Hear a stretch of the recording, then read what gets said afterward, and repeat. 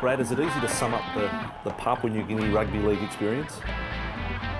Mate, it was just an amazing, amazing experience, just total eye-opener. Being your first test, you're already excited. But when you walk out onto that ground, what were you thinking? The place, when you look at like sports, you look at say the English soccer when they've got that sort of vibrant sort of atmosphere. When you go there, it was just banging.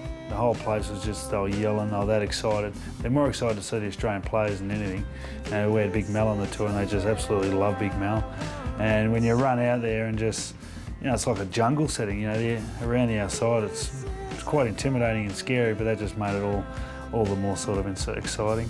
I think they posted that crowd for your test debut in Goroka at 13,000, but you look at the shots, it would appear, well, maybe there was 13,000 plus another 5,000 around the fences and trees. There was another five in the trees. You look up in the trees and got these beautiful big, I think they're oak trees or something, and you look up and there's just like, they're littered with people just hanging off from the highest limbs or you know, down to the lowest shrubs, just having a look over the top of the fences.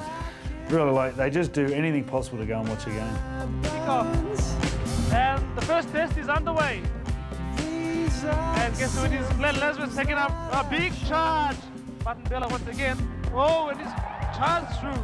What about the players, the, your opponents, the Kumuls? How keen, how willing out in the match? Yeah, they're willing.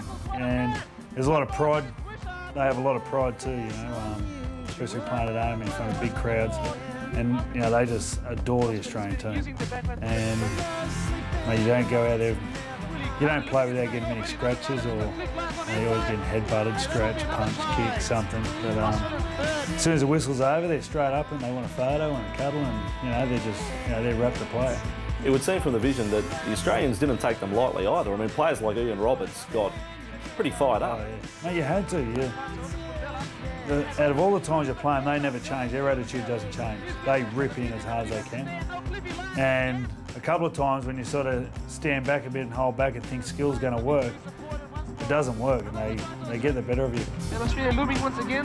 Robert Dummies and Clyde. He's over. In this fight, it's Brad Fittler for Australia's sixth try. Now, your first test in uh, PNG, also your first try.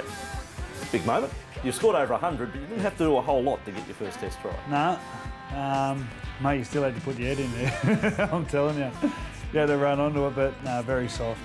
Was only, I didn't have to run far, which is a good thing. Pre-match entertainment. We've just had a look at it on uh, Boots and All. Do you remember anything about these blokes with these giant heads?